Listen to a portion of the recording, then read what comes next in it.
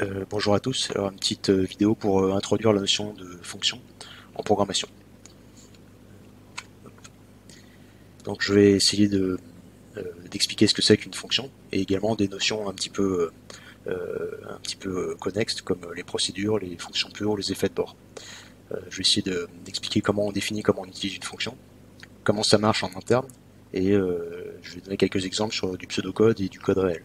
Et puis à la fin il y aura peut-être un petit bonus. Alors le- les fonctions, c'est pas spécifique à la, programmation en, informatique, ça existe aussi par exemple en, maths. Alors là je vais faire le rapprochement avec les maths, mais si, si ça vous aide pas les maths, c'est pas grave, je un- une autre approche plus euh, informatique euh, après. Donc en maths, un- une fonction c'est ce qui permet de définir un résultat à partir de chaque valeur d'un ensemble. Donc on a un ensemble avec des valeurs, et puis la fonction ça prend, ça associe à chaque élément de, de cet ensemble un résultat. Alors un exemple, une fonction absolue par exemple, qui euh, retourne la valeur absolue d'un nombre. Euh, donc comment on définit ça en maths? Alors donc euh, concrètement, ça veut dire que si j'ai euh, 1, la fonction elle va me retourner euh, euh, elle va me retourner 1 également. Si j'ai euh, moins 1, ça va me retourner 1, la, partie positive en fait de, chaque nombre. Pour définir ça en maths, on dit euh, bah, il y a la fonction absolue euh, qui euh, à chaque élément de z associe un élément de n. Alors z c'est les entiers relatifs, les nombres euh, positifs et négatifs, et n c'est les entiers positifs uniquement. La fonction absolue, c'est ça qu'elle fait. Elle prend un nombre positif ou négatif et elle va renvoyer euh, un, nombre positif qui correspond avec que la partie positive en fait. Donc on écrit ça, le, nom de la fonction, euh, le- l'ensemble de départ, l'ensemble d'arrivée, et comment on fait le calcul. Comment on fait le calcul C'est pour un x de l'ensemble de départ, c'est-à-dire z, et ben soit x euh, il est négatif, dans ce cas-là il faut prendre l'opposé. Donc si j'ai moins 1, bah, moins moins 1 ça va faire 1, et donc je vais bien avoir la partie positive. Et si c'est pas le cas, si le nombre est déjà positif, et ben juste à, retourner x. Donc voilà, le nom de la fonction, les ensembles de départ d'arrivée, et pour un x de l'ensemble de départ, comment je calcule le résultat qui est dans l'ensemble d'arrivée? Une fois qu'on a fait ça, on a défini la fonction, on, sait euh, ce qu'elle fait et euh, comment, dans quel cadre on peut l'utiliser, et ensuite ben, on peut l'utiliser. Donc si je fais absolu entre parenthèses 42, ça veut dire que le x ici, sur lequel j'avais fait mon calcul, et ben je demande à ce que euh, à faire le calcul pour la valeur 42. Donc 42 euh, c'est pas inférieur à 0, donc on est dans le sinon, et le résultat c'est 42. Et pareil pour moins 42. Euh, ici, moins 42 c'est négatif, donc on va faire moins x moins moins 42, ça fait 42. Donc le résultat de la fonction absolue sur le paramètre moins 42, c'est la valeur 42. Donc ça c'est ce qu'on a habituellement en, maths, et, euh, en informatique, bah, ça correspond à peu près à ça. Alors c'est un peu plus pragmatique quand même. Euh, on, peut, euh, voir une fonction comme en fait un morceau de code qui va prendre des paramètres, ou pas d'ailleurs, et qui va produire une valeur ou, pas. Donc voilà euh, vraiment le- la notion de fonction en, informatique. Comment ça se comment ça s'utilise? Bah, euh, Un peu comme en maths, on va d'abord définir la fonction et ensuite on va l'utiliser, l'évaluer. C'est-à-dire faire le calcul sur, sur une vraie valeur du paramètre comme, comme je l'ai expliqué juste avant. Alors pourquoi on fait des fonctions en informatique Parce que ça permet de factoriser le code. En fait, si je reviens juste avant, euh, si je veux faire ce petit calcul-là euh, très souvent, et ben, il va falloir que je réécrive ça tout le temps.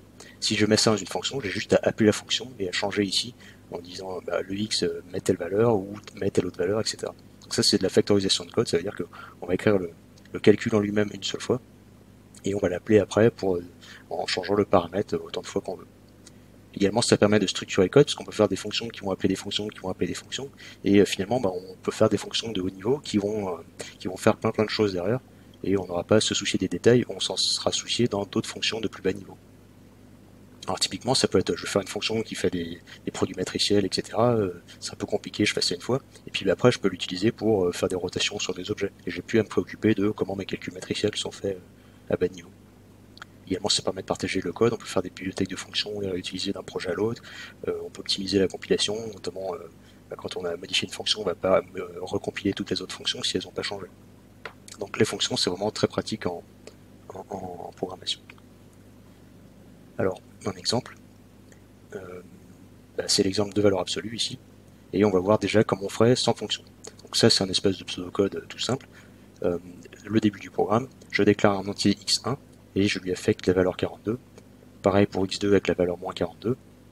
Ici, y1 qui va être en fait la valeur absolue de, de x1, donc c'est le petit code que j'avais euh, expliqué tout à l'heure. hein. Si, le, nombre ici est négatif, bah, on prend son opposé, sinon on prend le nombre directement parce qu'il est déjà positif. Et pareil pour y2. Donc là, à chaque fois, on met bien pour y1, on va calculer en fonction de x1, donc à chaque fois on met x1 ici. Pour y2, bah, on le fait en fonction de x2 et on met x2 à chaque fois. Donc là, on n'a pas de fonction. On a du code qui est très très similaire entre le calcul de y1 et le calcul de y2. C'est juste x1 ou x2, il faut bien le répéter à chaque fois. Et, euh, voilà. comment ça marche ça en interne? Pour l'instant, on n'a pas de fonction, mais on va voir euh, si on exécute ce code-là, qu'est-ce qui se passe dans la mémoire notamment? Et bah dans la mémoire, euh, le programme s'exécute et on voit ça. Donc ça, ça veut dire qu'il faut déclarer un entier x1. Ça veut dire que dans la mémoire, il va réserver une case x1 et dans la case, on peut mettre un entier. Et ici, il y a une affectation où on met la valeur 42. Donc la, mémoire, la zone mémoire est réservée, elle a un nom, enfin une adresse plutôt, mais c'est pas grave. Et dedans, on met la valeur 42. Deuxième ligne, pareil, on demande de créer un x2. Et on fait une affectation de la valeur moins 42 dedans. Ensuite, pareil avec y1, donc une case mémoire. Cette fois, l'affectation, bah, c'est pas, on n'a pas tout de suite la valeur. Il faut évaluer cette expression-là d'abord. Alors, bah, allons-y. Alors, on a besoin de savoir, c'est un, un, si alors sinon, on a besoin de savoir quelle est la valeur de x1. x1, bah, en mémoire, il est là, il vaut 42. Est-ce que c'est inférieur à 0 Non? Donc, on va faire le cas x1 ici. Donc, la valeur de cette expression, c'est la valeur de x1, c'est-à-dire 42. Et j'affecte ça dans y1. Donc là, on a réalisé toute cette ligne. Ensuite, instruction suivante, on a un y2 avec une zone mémoire. Et pareil, euh, est-ce que x2 est inférieur à 0 Oui. Donc on va, dans ce cas-là, on va faire moins x2. Moins moins 42, ça fait 42.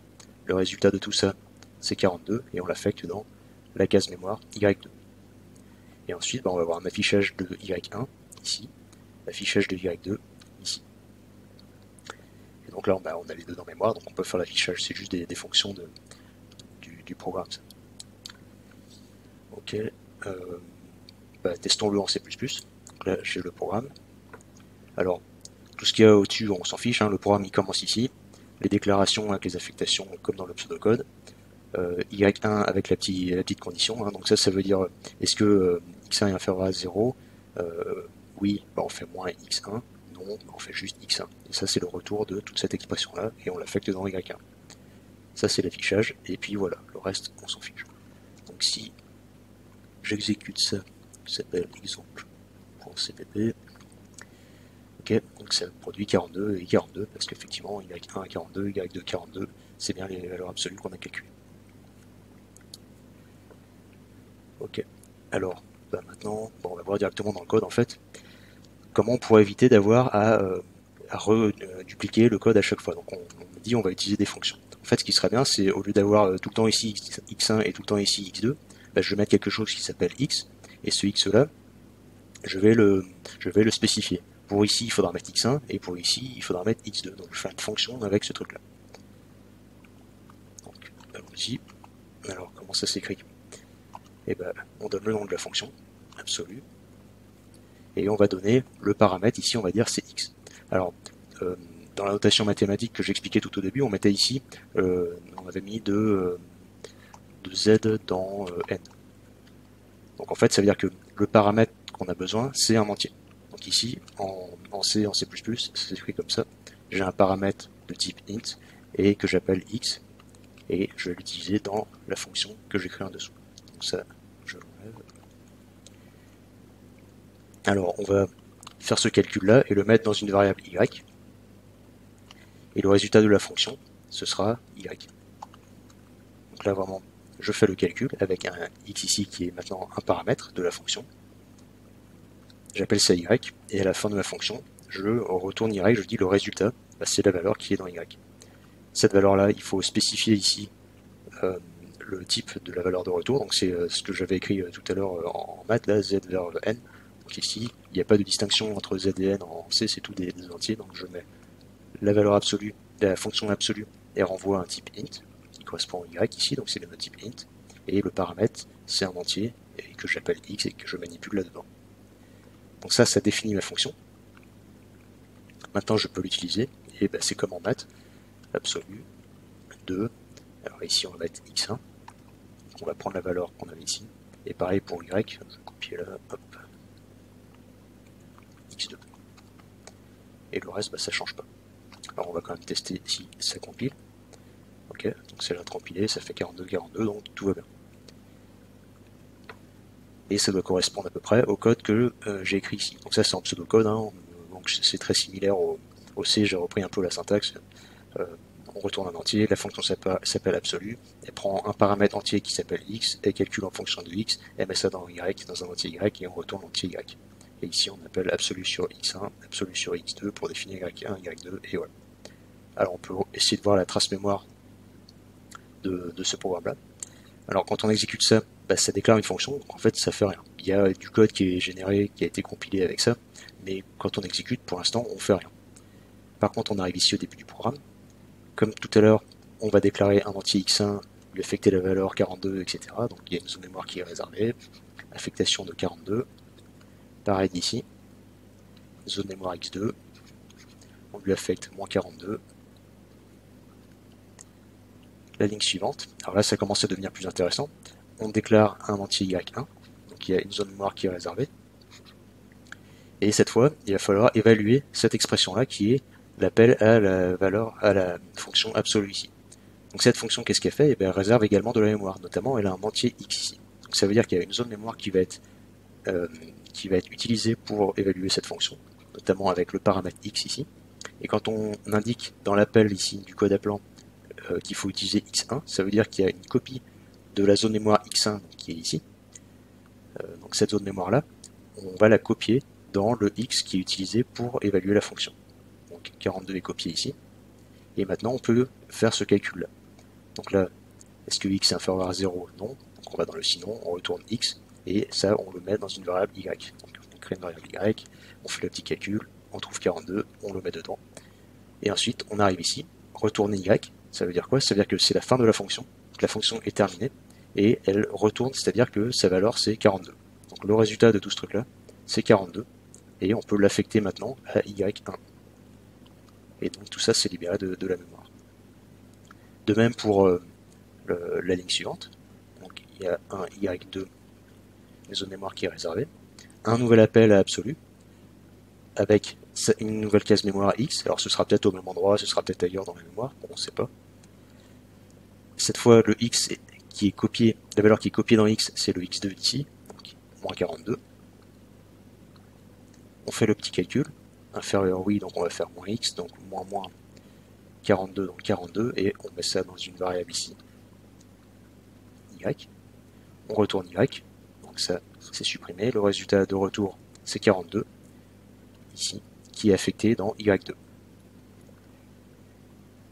Euh, et voilà, ensuite on peut afficher X1, Y1, Y2 avec la valeur ici Y1 et la valeur ici de Y2. Voilà, donc avec une fonction, comment ça fonctionnerait. Euh, donc on remarque, hein, euh, il y a eu des copies intermédiaires de, des mémoires pour pouvoir exécuter la fonction dans son petit environnement, et puis au retour on renvoie la valeur et on, on libère la mémoire qui a été fait. Alors en vrai, c'est optimisé, il y a des choses qui sont faites à la compilation, mais c'est un peu l'idée. Alors maintenant, on va voir comment on peut faire ça avec des procédures. Donc l'idée de la procédure, c'est que en fait, au lieu de recréer tout le temps, par exemple mon y, eh ben, euh, je vais le définir ici. je réserve une zone mémoire ici, et je modifie y ici. Et du coup, j'ai pas besoin de le retourner. J'ai pas de valeur de retour en, en C++, ça s'écrit comme ça, void. C'est juste que, suivant le paramètre, je vais mettre à jour une variable globale et euh, je pourrais l'utiliser euh, après dans le reste de mon programme. Alors comment on l'utilise dans le reste du programme? Et eh ben, euh, eh ben déjà, on appelle la, procédure sur x1. Ça va modifier le y qui est ici. Et donc, mon y1 qui est ici, il suffit que je récupère la valeur de y dedans. Et pareil, euh, x2. Donc absolu sur x2, c'est initialise y, que je recopie dans y2, et après j'affiche y1, y2, et normalement ça devrait fonctionner. je vais quand même tester. Ok, 42, 42, ça a l'air bon. Donc le pseudocode, il est ici. pareil, hein, je définis une variable globale, j'ai ma procédure avec juste un entier cette fois, pas de valeur de retour, pas de return ni rien, pas besoin de déclarer le y ici puisqu'il a déjà été déclaré là, donc c'est vraiment celui-là que je veux utiliser on fait le petit calcul en fonction du paramètre, ça c'est mis à jour, et puis, et puis bah voilà. Donc là, je l'appelle sur le, sur le paramètre ici, le y est mis à jour, je peux le recopier dans mon y1 ici, idem pour y2, et quand j'affiche, après normalement ça va marcher. on peut regarder là en mémoire. Hein. Euh, alors là par contre, il y a quelque chose qui est fait. En mémoire, il y a un y qui est réservé, il n'est pas initialisé. La procédure absolue, elle est compilée, donc ça fait rien en mémoire, euh, à notre niveau du moins. Création de x1, on affecte 42, donc ça, ça change pas. Pareil pour y2, j'écris ça vite fait, moins 42. Maintenant, on arrive ici, procédure, donc de la mémoire qui est réservée. On copie le x1, 42. La procédure se déroule. Donc là, qu'est-ce qui se passe? On calcule ce truc-là, ça va faire 42. Et on affecte ça dans le y global ici. La procédure se termine. Donc ça, c'est supprimé. Mais il n'y a pas de retour ni rien. Le y ici a été initialisé correctement. On peut le recopier dans cette variable-là qu'on va déclarer. Y1, donc c'est déclaré. On fait l'affectation de 42. Pareil pour le deuxième appel à absolu. Donc, une, euh, un paramètre est initialisé en mémoire, x. On copie cette fois x2. Alors x2 est là, c'est moins 42. On peut calculer l'expression à l'intérieur de la procédure. Ça va faire 42. Et on va affecter ça dans y. Donc on va réécraser ici la valeur. Et c'est la même, mais elle est écrasée. Ça termine, pas de, pas de return ni rien, euh, puisque y a été initialisé comme il fallait. Euh, donc ça, c'est terminé. On peut initialiser un y2 avec l'affectation à y qui est ici, 42. Et on peut faire ensuite nos affichages y1, y2 avec les valeurs qui sont ici. Et ça, bien sûr, ça été terminé euh, à, l'appel ici. Donc voilà, donc là on a une, une, variable globale, on a un peu moins de copies mémoire ici, mais euh, mais on a une variable globale. Alors le problème de cette variable globale, c'est que si absolue elle est appelée par plusieurs CPU en même temps, par exemple, dans le cas d'un programme multithread, et eh ben ils vont tous les deux modifier cette variable-là. Donc il va y avoir un conflit et ça, ne va plus marcher. Donc ça, et puis même c'est difficile à débugger. Comment je sais que quand j'ai appelé cette fonction-là, comment je sais qu'il faut que j'aille voir Y ensuite? Ben, on le sait quand on regarde le code, mais a priori, euh, quand on est juste simple utilisateur, on voudrait que ce soit simple. si j'ai absolu, bah, euh, comment je récupère mon résultat? Il va falloir le documenter ou faire des choses sans souvenir c'est, on a vite fait de faire des erreurs avec ça. Alors pour éviter ça, et eh ben justement l'idée ce sera de dire ok je vais faire une procédure qui va pas forcément faire des, retours comme les fonctions, mais je vais spécifier ici euh, où est-ce qu'il faut écrire le, résultat de sortie. Alors ça s'écrit pas tout à fait comme ça, donc l'idée c'est ça, hein, c'est, je vais pas mettre de variable euh, globale, je vais juste dire où est-ce qu'il faut écrire le résultat. Et donc pour faire ça, on va lui donner une référence. ça veut dire que le y ici, eh ben, il va écrire dans le Y qui est là et qui en fait est un lien vers une zone mémoire dans laquelle il peut écrire. Donc quand il utilise le Y ici, c'est en fait la zone mémoire qui a été initialisée euh, et passée en paramètre ici. Alors, comment ça s'utilise Eh bien, on va passer ici notre Y, et le Y, il faudra l'avoir défini juste au-dessus, et on n'a pas besoin de l'initialiser parce qu'il va être initialisé là-dedans, euh, parce que euh, Absolu va écrire dans ce deuxième paramètre. Euh, pareil pour euh, ici. Le deuxième appel avec Y2. Euh, ici. Là, normalement, Y1 et Y2 ont été définis, initialisés correctement, et, on les appelle ici. Alors, a priori, ça correspond à ce pseudo-code-là. Hein. Donc ici j'ai mis une notation procédure un peu plus classique, on met en fait le sens, est-ce que c'est en entrée ou en sortie. Donc là l'entier qu'on avait x c'est en entrée, donc j'ai mis in pour input et output sur l'entrée y, et euh, quand on écrit dans, y, et ben, c'est la sortie de ce truc là, et ça correspond à la variable que je lui passe. Donc ça c'est vraiment l'équivalent du code C++ que j'ai que j'ai montré. Alors on peut faire la trace quand même, donc ça, ça compile la fonction, la procédure en mémoire. Ici on a de la réservation mémoire de x1, donc c'est vraiment toujours la même chose. Affectation à 42, on réserve x2, affectation à moins 42, on réserve un entier y1. On appelle absolu, alors là c'est intéressant. On va avoir pareil de la mémoire qui est réservée. Donc x1, euh, pardon, x. Est-ce que ça marche ça Donc la variable x ici, du paramètre, une variable également y. Sauf que cette fois, c'est plus une copie qui va être initialisée. Alors euh, là, ici, le x il est initialisé avec une copie de x1, donc 42 est recopié ici. Et maintenant, comme ici, j'ai une variable en sortie, en fait, ce qu'on a là, c'est un lien vers cette variable-là qui existe, euh, qui existe ici. Donc ça, ça veut dire que quand j'écris ici, et eh ben, ça écrit là-dedans, en fait. Euh, donc, j'appelle ma fonction. Ok, les variables sont euh, créées correctement. Je peux faire le calcul, donc là, ça va trouver 42, est-ce que 42 ici, on est dans le sino, etc. Bah, tiens, ce que je ah oui, donc voilà. Donc ça, ça vaut 42. Et c'est affecté dans Y. Et cette fois, le Y ici, c'est pas vraiment ce Y là, c'est un lien vers euh, le Y1 du code appelant. Donc le 42 est écrit là-dedans. Fin de la procédure. Tout ça, c'est supprimé. Ligne suivante, bah pareil, Y2, une zone mémoire. On appelle absolu avec un, X, un Y. Le X, on y copie X2 qui vaut moins 42. Y2, toujours pareil, sauf que cette fois c'est un lien. Donc le Y ici, je l'ai initialisé à, euh, à, la case, un lien vers la case Y2. On calcule ça, ça nous fait 42. On écrit vers la zone qui a été liée ici, donc le Y2. Fin de la procédure, ça s'est supprimé, et notre euh, Y1 et notre Y2 ont été initialisés correctement et on peut les afficher. Ok.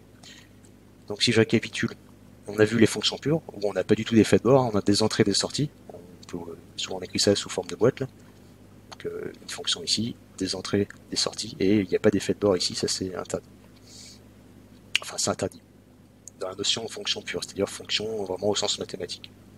L'avantage de faire ça, c'est que c'est plus facile à tester et à maintenir. En effet, euh, dans le code, bah, quand on a un appel à une fonction, on sait que on, envoie des données en entrée, on récupère les résultats et il n'y a rien d'autre qui a été modifié euh, à l'extérieur. L'inconvénient, bah, on a vu, ça pouvait nécessiter des copies mémoire supplémentaires. Les procédures avec variable globale, donc euh, la première procédure que j'avais faite, bah, c'est vraiment un gros effet de bord euh, global, hein, une variable en mémoire à gérer. Il n'y a pas vraiment d'avantage à faire ça, il vaut mieux éviter. Dès qu'on commence à faire du multithread et tout, ça, complique vite. Alors parfois il y a des implémentations plus simples avec une grosse variable globale, mais il vaut mieux éviter.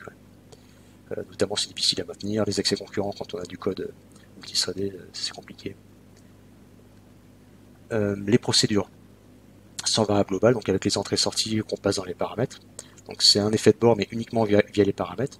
Alors ça permet d'éviter des copies mémoire, donc ça c'est plutôt pas mal. Et notamment sur des gros objets, bah, on peut gagner. si on, évite de, copier des, paramètres, c'est plutôt intéressant. c'est un peu plus dangereux que les fonctions, parce qu'effectivement, on modifie les, paramètres, ou c'est dans les paramètres qu'on va dire qu'est-ce qu'il faut modifier. Donc il faut bien documenter l'utilisation de la fonction. C'est moins dangereux quand même que la, variable globale, mais il faut quand même bien documenter les, les, entêtes de fonction.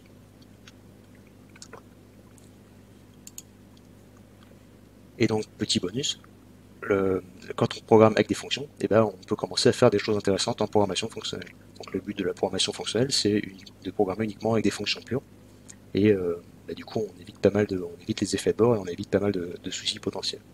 Alors les fonctions pures, quand on généralise ça, quand on a euh, vraiment des outils performants dessus, on a plein de fonctionnalités intéressantes, notamment de l'évaluation partielle, on peut créer des fonctions à partir d'autres fonctions, mais sur une partie des paramètres. On a des fonctions d'ordre supérieur qu'on peut passer en paramètres ou, en résultat d'autres fonctions. Des fonctions anonymes, on peut créer des fonctions à la volée. Et euh, bah, on peut voir un petit exemple sur du code en Haskell. Alors, concrètement, à quoi ça ressemble? Ben voilà, on a un programme principal qui va faire la définition de x1 et de, x 2 donc à 42 moins 42, le calcul de y1, le calcul de y2, donc là j'ai mis directement l'expression euh, en recopiant, et l'affichage ici. Donc si déjà je teste ça, a priori ça fait bien 42, et je peux faire maintenant facilement une fonction, alors ça va être euh, absolu euh, de x1, x2 et la fonction absolue, on va l'écrire ici. x ou x inférieur à 0 alors moins x et sinon x. Euh, on essaye ça a l'air de fonctionner.